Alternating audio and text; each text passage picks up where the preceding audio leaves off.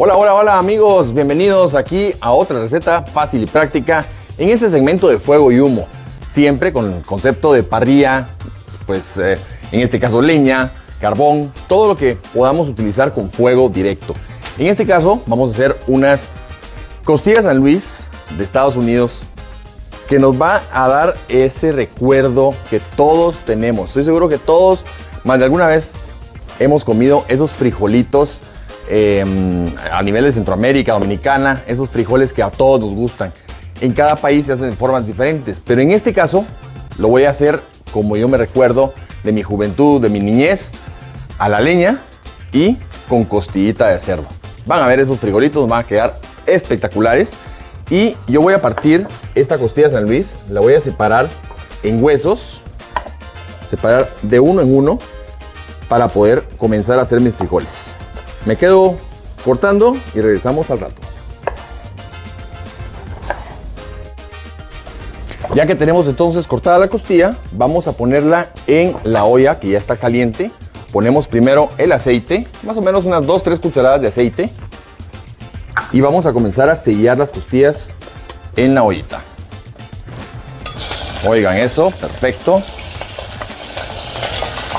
Ahí que se vayan sellando vamos a ir moviendo constantemente hasta que ya estén parcialmente cocidas.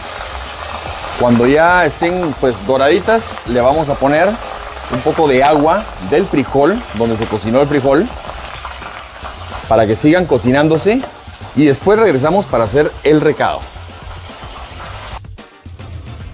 Bueno, vamos a hacer el recado como le llamamos en Guatemala, el recado de nuestras recetas tradicionales es como la salsa que llevan los platos. En este caso voy a hacer un recado base para darle sabor a esos frijoles. Para eso voy a utilizar semilla de pepitoria, le llamamos en Guatemala, o semilla de ayote tostada. La tostamos previamente en un sartén. Un chile seco, en este caso chile guaque, ajonjolí tostado también y un poco de pasta de tomate.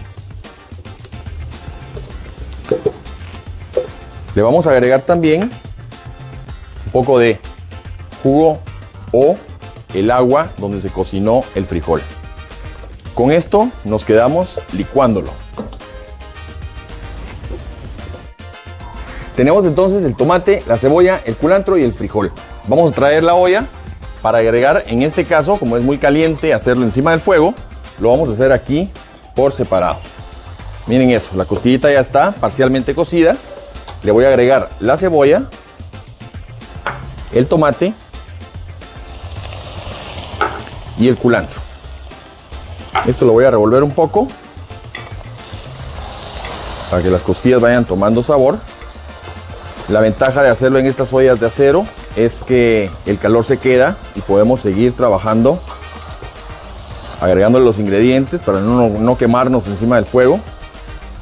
Y ya que lo tenemos ahí, le ponemos entonces nuestro recado o salsa. Lo agregamos.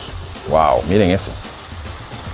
Se ve espectacular. Miren cómo comienza a hervir la salsa solamente con ponerlo directamente. Ya que lo tenemos, ponemos las costillitas abajo de la salsa y nos vamos de regreso al fuego.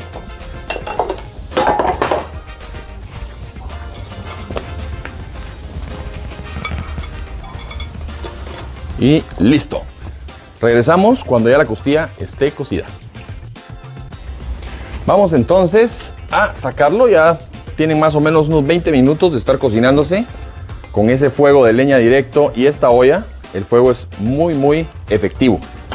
Y lo único que vamos a hacer es agregar los frijoles. En este caso los frijoles ya los tenía precocidos yo. Lo vamos a poner. Mezclamos. Si lo hubiéramos puesto, eh, lo que puede pasar es que se nos queme el frijol en la parte de abajo. Por eso pusimos solamente el recado hecho con el jugo donde cocimos el frijol. Y así lo tenemos ya listo. Miren esa belleza de frijoles impresionantes. Lo vamos a poner por aquí y servimos un poquito en nuestro plato. a este tipo de platos. En Guatemala le llamamos escudillas de barro. También le aportan un, un toque especial a la presentación del plato y el sabor también. Agregamos por ahí el frijolito, miren esto. Le podemos agregar un aguacate, unas tortillitas y listo. Hay quienes les gusta la crema, también lo podemos agregar. Ok. Miren esa belleza. Tenemos entonces nuestros frijoles colorados con costillas San Luis de Estados Unidos. Muchas gracias de nuevo por ver este video y regresamos a la próxima con otra receta fácil, práctica y que nos recuerde esos momentos de antaño.